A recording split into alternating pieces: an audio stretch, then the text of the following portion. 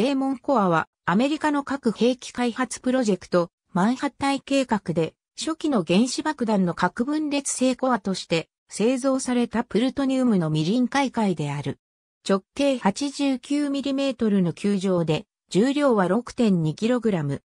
1945年8月21日と1946年5月21日の2度臨界状態に達する事故が発生した。このコアは日本に投下される可能性のある第3の核兵器に使用される予定だったが、日本の降伏によりその必要がなくなったため、実験用に使用された。炉心は爆弾の爆発を確実にするために、わずかな安全マージンを取って設計された。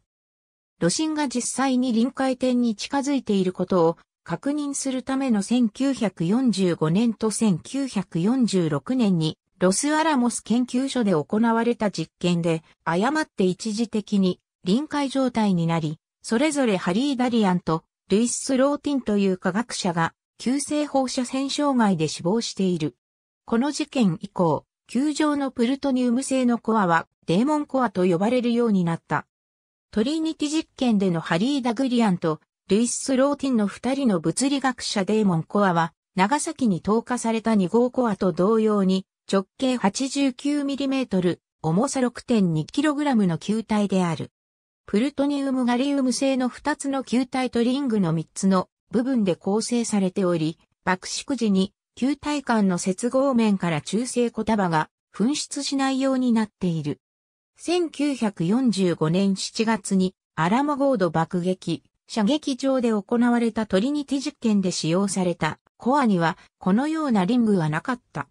生成されたプルトニウムは、ワシントン州のハンフォードサイトからロスアラモス研究所に輸送された。8月30日付の目録文書によると、ロスアラモス研究所は HS-1、2、3、4R-1 を使い切っており、HS-5、6R-2 は完成して、品質管理の手に渡っていた。HS-7、R-3 の材料はロスアラモスの夜勤セクションにあり、9月5日までに完成する予定だった。夜勤担当者は、プルトニウムのデルタ相動素体を安定させ、ホットプレスで目的の休憩にできるようにするため、プルトニウムマイナスガリウム合金を使用した。プルトニウムは腐食しやすいことが分かったので、球体はニッケルでコーティングされた。8月10日、レズリー・グローブス少将は、アメリカ陸軍参謀総長ジョージ・シー・マーシャル将軍に手紙で次のように伝えている。次の爆縮形式の爆弾は、1945年8月24日以降の最初の好天時に標的に投下できるように予定されている。我々は製造に4日を費やし、8月12日か13日にニューメキシコから最終部品を出荷する予定である。製造、戦地への輸送、戦地到着後に不測の事態が発生しなければ、8月17日か18日以降の最初の好天時に爆弾の納入が可能である。マーシャルはハリー・エストルーマン大統領が最初の2回の原爆投下の効果を確認するのを待っていたため、大統領の明確な権限なしには日本に投下してはならないという注釈をつけた。8月13日時点で8月16日には完成し、8月19日に投下される予定であった。しかし、1945年8月15日にカートランド飛行場への輸送準備が進められている間に日本が降伏した。その後、この3番目のコアはロスアラモスに残された。事故後に撮影されたダリアンの臨界事故時の状況の再現写真。球体のデーモンコアは炭化タングステンのブロックで、周囲を一部囲まれているコアの設計には、外的要因による反濃度の上昇に対する安全マージンがごくわずかしかなかったため、反濃度の高まりにより臨界状態に至り、さらには即発臨界へと至る結果となった。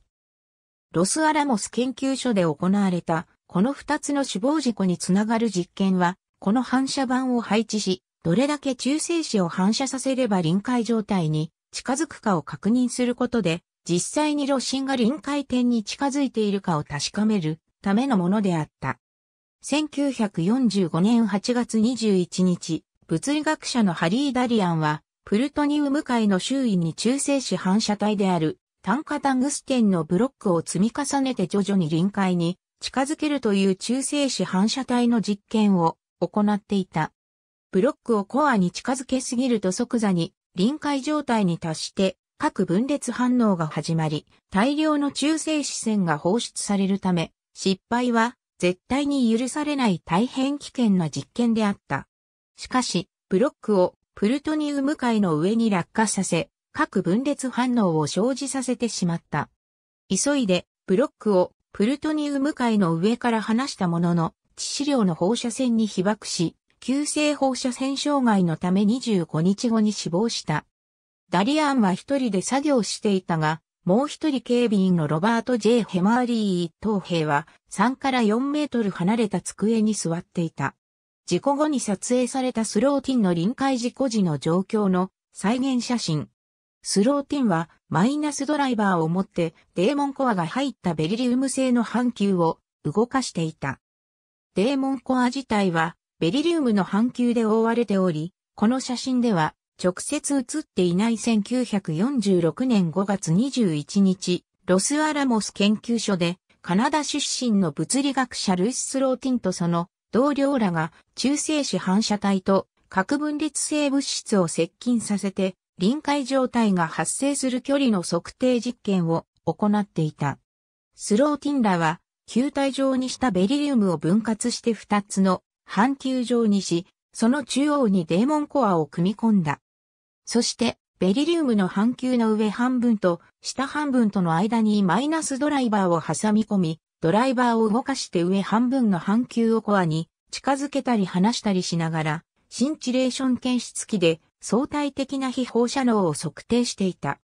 挟み込んだドライバーが外れて二つの半球が完全に接近すると、デーモンコアは即座に臨界に達し、大量の中性子線が放出してしまう、大変危険な実験であった。小さなミスも許されない危険性から、リチャード・ファインマンがドラゴンの尻尾をくすぐるようなものだと批判し、他のほとんどの研究者は実験への参加を拒否したほどであった。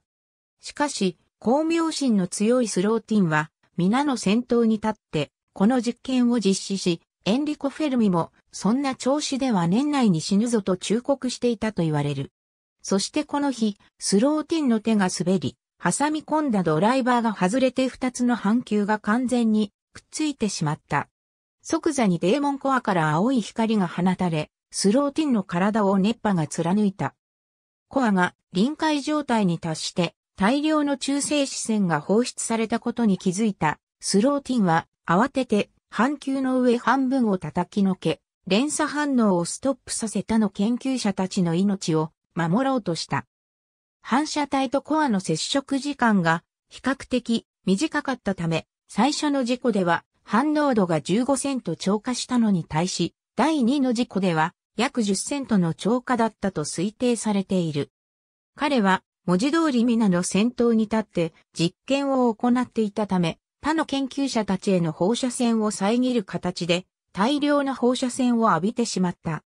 彼はわずか1秒の間に致死量の中性子線とガンマ線を浴び、放射線障害のために9日後に死亡した。